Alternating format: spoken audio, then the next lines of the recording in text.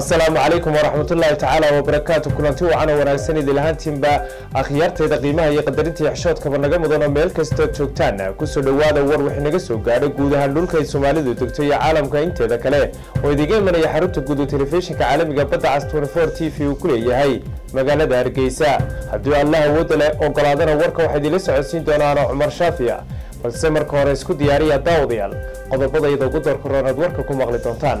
Madaxweynaha dalka soomaaliya mudane maxamed cabdilaahi farmaajo ayaa safar shaqo ku tegey dalka etoobiya xildhibaano ka tirsan golaha guurtida somalilan ayaa ku eedeeyey xukuumadda somalilan.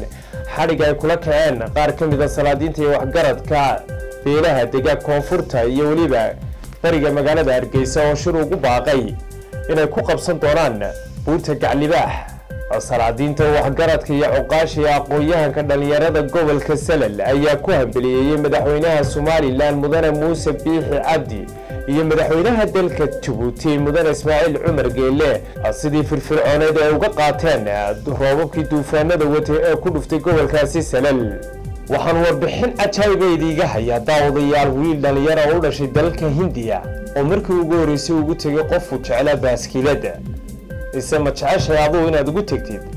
Si aad haddaba wax uga ogaano qodobkaasna wuxuu ka mid yahay. Qodobadan warka idigu hayo. Daawadayaal intaasi waxa ayaan qodobadayda ugu doorkaroon warka gala. Daawadayaal intaasi waxa ayaan qodobadayda ugu doorkaroon aad warkayga ku maqli doontaan balse hadda iyo.